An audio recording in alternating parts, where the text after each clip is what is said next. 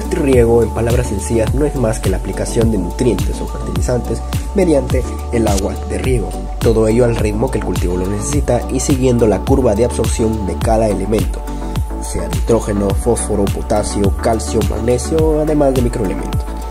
Esta tiene la función de poner a disposición de la planta los elementos necesarios para su correcto desarrollo, teniendo en cuenta también los suministrados por las reservas naturales del suelo y por el agua de riego. Esto supone un proceso sostenible pero complejo, debido a la gran cantidad de factores que intervienen en en ventajas tenemos, permite precisión y racionalidad en la fertilización, permite la utilización agrícola de suelos con limitaciones como compactación o excesiva permeabilidad, economía importante de agua y fertilizantes y control de la posible contaminación, por la gran precisión en el riego con distribución uniforme, controlada y localizada de los nutrientes esenciales. Se disminuyen las probabilidades de causar fitotoxicidad, de contaminar acuíferos y otras fuentes de agua, y que ocurran pérdidas de nutrientes por volatilización, lavado y escorrentía se obtienen incrementos en los rendimientos de los cultivos y se mejoran algunos parámetros de calidad de los frutos. Y como desventajas. Inversión inicial elevada. Requerimientos de presión para el funcionamiento de los sistemas.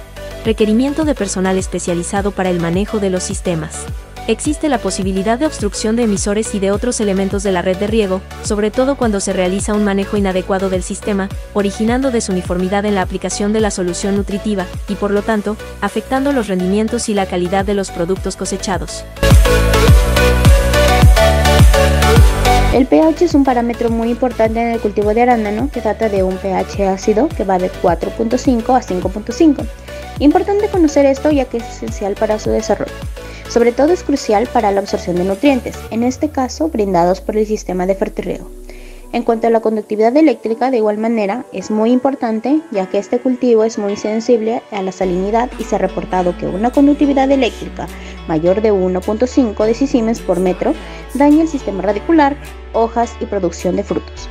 Por ende, se suele optar por mantenerle en valores como 0.45 o 0.6 decisiemens.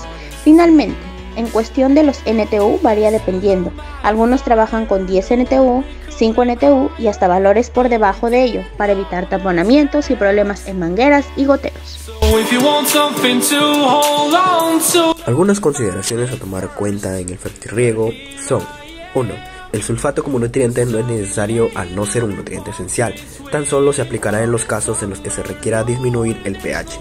2. En la fertilización es muy importante el manejo del riego, incluso más importante que el fertilizante elegido, así como manejar las relaciones óptimas entre nutrientes. 3. Vigilar las interacciones de los fertilizantes con su agua de riego y con su suelo. 4. Realizar un seguimiento para ajustar la solución nutritiva que apliquemos en cada momento del cultivo, con análisis de agua de riego, de la solución fertilizante real y de la solución del suelo en las raíces activas y en drenaje y optimizar es aplicar una fertilización para cada caso, fertilización a medida de cada cultivo, en este caso del arándano, según su variedad, el momento fenológico, el suelo, agua de riego y condiciones climáticas. Como podemos observar en la imagen, un sistema básico de fertirriego, podemos notar todos los componentes y equipos que se necesitan para el fertirriego, con lo principal el fertilizante que queremos aplicar y la toma principal de agua. A continuación, en una visita a la empresa Agroberries, podemos observar cómo es este sistema para medianos y grandes agricultores. Esto estuvo compuesto por bomba, podemos ver manómetros, filtros de grava, tubería principal con hidrómetro, válvulas hidráulicas, pilotos sostenedores y reguladores, un sistema de FertiKit, que es el principal, y a continuación la ingeniera lo comienza a detallar. Este es su Fairmaster, su tablero de control, su electrobomba, un canal de fertilización, todo esto de acá lo compone un canal de fertilización. Estos son Venturi, sensores de, de presión. Esta es una válvula CHED, una válvula dosificadora, válvula de aguja, su, su rotámetro. Los rotámetros tienen 60 litros por hora. Y luego tienen sus fertímetros ciegos. Estos de acá son ciegos. Todo ello y los tanques con los fertilizantes que se van a aplicar en el fertirriego. Caso contrario, en menor magnitud, también podemos observar en este caso en una visita realizada al minifundio Moche Verde con un área total de apenas media hectárea de arándano y con muy buena producción y esto pensado en pequeños agricultores y gente que quiere comenzar. Podemos ver también de igual manera los tanques que se utilizan tanto de nitrógeno, fósforo, potasio y el cuarto tanque que son los microelementos.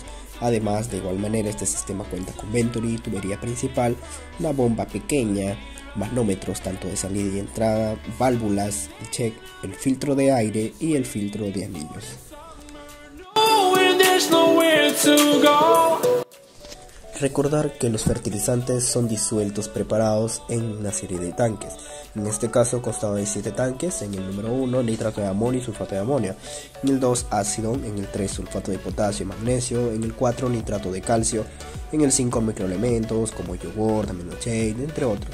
Y en el tanque 6 y 7 dos tanques de quelatos, sean traferro, tradecort, entre otros más.